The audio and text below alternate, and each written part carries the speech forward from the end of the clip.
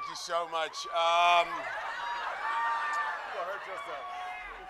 my two learned colleagues, you did amazing speeches. Uh, Tyler, I didn't write a speech. Um, I wanted- I, so we're good. Okay, we're good. I, I, I, I wanted to speak from the heart, so I'm just going to start with a couple of bones I have to pick with you.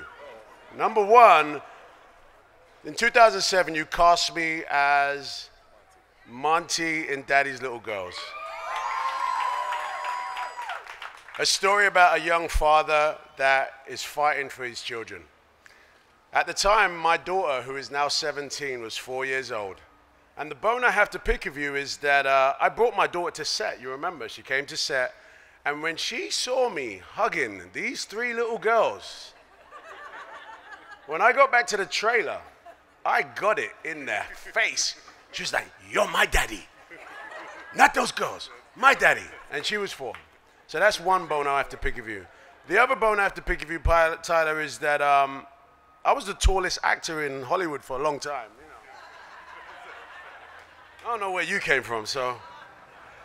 Um, brother, in all seriousness, I played a drug dealer called Stringer Bell for a long time on The Wire. And quite typically, when you play a drug dealer, that's typically the roles you're going to get. That's what happens. You get stereotyped. You gave me a role to play a, a father, a black man looking after his children, fighting for his children, caring for his children. There are, there was none and haven't been since any role that really depicts the same story. I, because of that role, it changed not only my career, but it also changed the way I believe that people cast black men. We are fathers. We are men.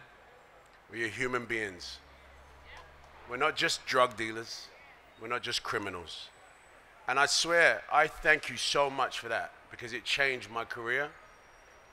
It deepened my relationship with my own family and my daughter especially. And it strengthened so many black men going through the same issues that Monty did. So for that, I want to thank you.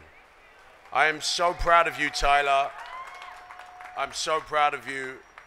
I wouldn't miss this for the world. When we talk about stars, we usually talk about the ones that pave this very pavement or the ones in the sky. And you're not only both, you're a consolation. You are all of that. And we are we are astronauts in your universe, brother. I appreciate you, Tyler Perry, and I wish you nothing but the best for the rest of your life.